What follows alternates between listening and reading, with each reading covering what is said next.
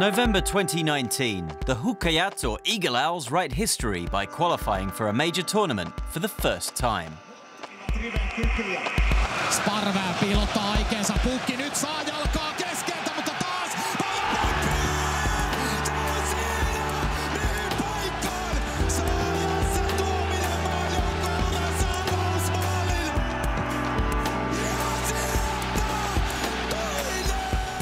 Teemu Pukki is already a living legend with 10 goals firing his team into the 2020 European Championships. It's undescribable. People running to the pitch. I got some hugs uh, in tears and uh, saying how much it meant to them. This is for all Finland, and uh, we showed what we what we can do as a, as a nation.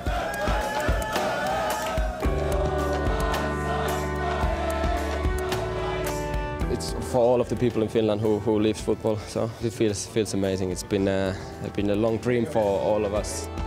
The Finnish Football Association was founded back in 1907. 113 years later, the men's team will be competing at its first Euros.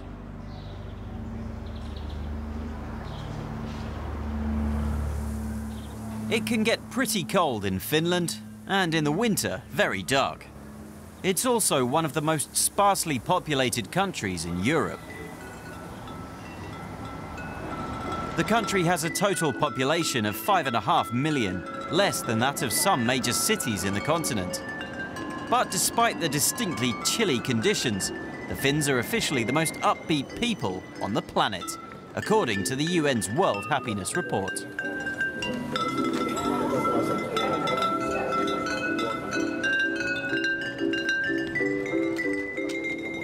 They say Finnish people are really closed and uh, rude, but I, I don't think that's the case. I mean, uh, it's a pretty, it's a country that uh, is, uh, how would I, how would I describe it? Socially introvert. That uh, we uh, like to hold our own space, but when somebody needs help, we're always there to help. Yeah. And Finns need no help when it comes to inventing weird and wonderful pastimes, from wife carrying to swamp football. But their most important leisure pursuit is, of course, going to the sauna. The country has two and a half million sweat lodges, as the word literally means. That's one sauna for every two people. But sports wise, ice hockey tops everything, and people don't blink when the president takes to the rink. As for football, the men's team at least have always been minnows and had never qualified for a tournament before. It's been a long fight to get to the Euros. In the history, a lot of disappointments, and even we have in Finland we have a own word to football. In other countries they play football, and here in Finland we play potkupallo, which means like kicking the ball uh, without purpose. we have been always a country who has not achieved anything. So, it, so it's, it's really strange to be in this situation now. Now the men's football team are kicking with a purpose as a new chapter in Finnish sporting history dawns. So what's changed? We accompany HJK Helsinki's youth team coach Daniel Ersin to Lahti. This is the hometown of Jari Litmanen, Finland's most capped and arguably greatest ever player with 137 appearances, hence the statue. Even in the days of Potkupallo, Finland produced a number of good players. Former Finland defender Petri Pasanen knows what's different now. When I played, we had Jari Litmanen, Sami Hyypiä, big names, big stars, and uh, the hierarchy was there. You know, we got along just fine, but this is different, this team, you know.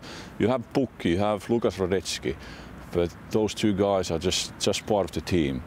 So, in that sense, I think it's a team that Finnish people can really identify themselves because it's just a bunch of normal guys who really have shown that if you're a unit, you can achieve big things, although your material is a bit less than probably the most of the good teams.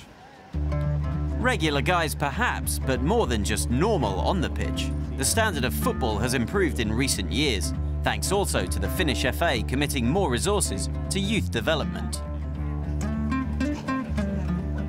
Nowadays, the coaches in Finland, they just have more information available through technology, through data, and they're more aware of the qualities they can they could you know make better when coaching those young players. And you know when that happens all over the Finland, the logical you know, know next step would be that you just get more better players. If that produces top players, that's another thing.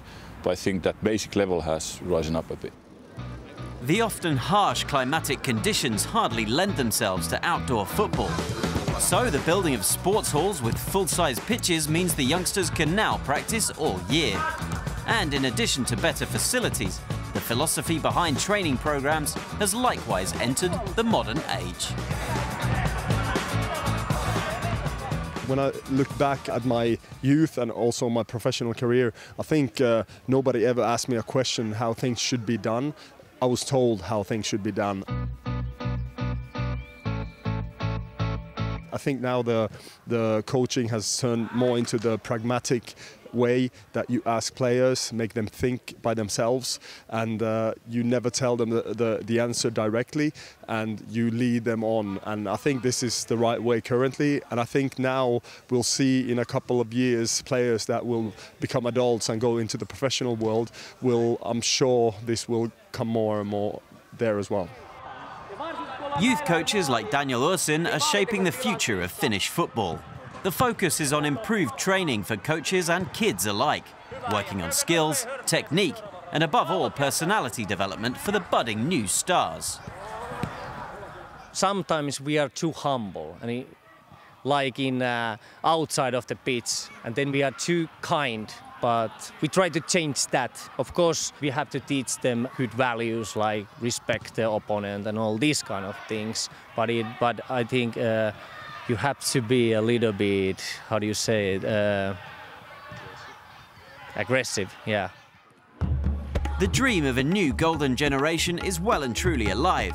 Indoor venues like this one are a step forwards. The country's professional clubs are currently progressing in leaps and bounds to be honest, this is not only for football. So if you play American football, uh, rugby, whatever, it's, it's for, for everybody. This is, has been a really important development maybe during the last 10 or 15 years. Different clubs have uh, improved their facilities by their own. And this is creating a new, new phenomenon in Finland, which is old news in Central Europe that we, we we're starting to have our own training center, at least the biggest clubs. Did we mention before that it can get dark in Finland? The winter evenings are very long, providing plenty of time to chat about the eagle owl's evolution and perhaps take a closer look at the secret to that success. You need to be more like uh, some kind of a teacher or like a father. How do you? I don't know how do you say it, but uh, something like that, because uh, so short time that they are together, and it's more about mentality. I can see in the pitch that the players enjoy what they do together.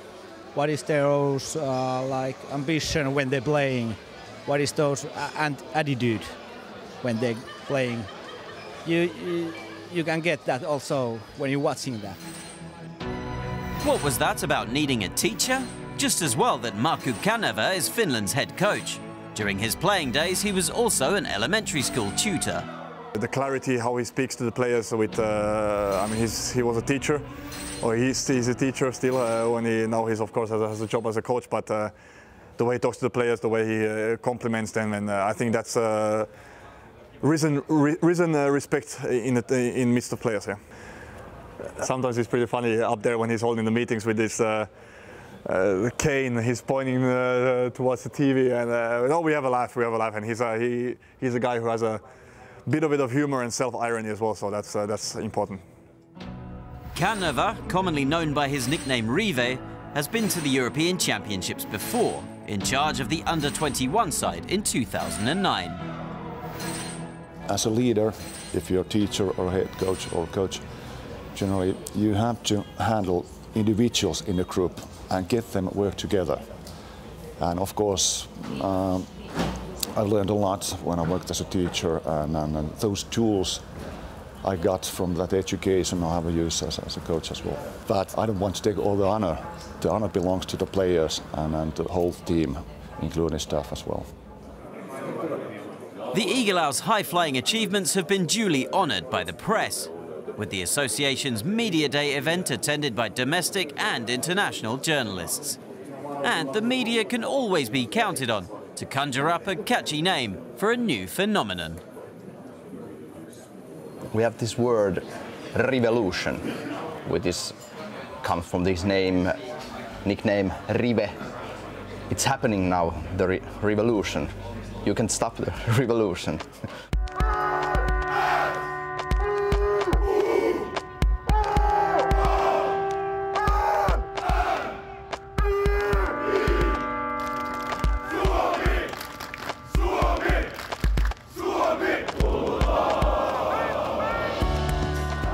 Finland are living the dream, the revolution.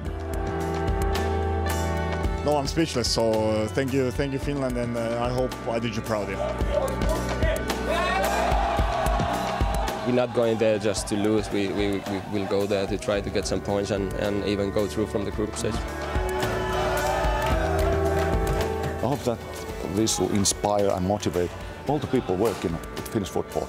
The kids, all the football players, the parents, uh, coaches, everyone.